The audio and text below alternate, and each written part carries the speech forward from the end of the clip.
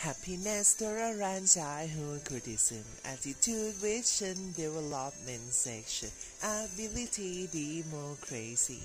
King Kingdom Friendships Attendee African Learner Chairman Artist Manufacturer Actress Burmese คำพวกนี้ลงท้ายเป็นคำนามจำกันไว้ให้ดีๆ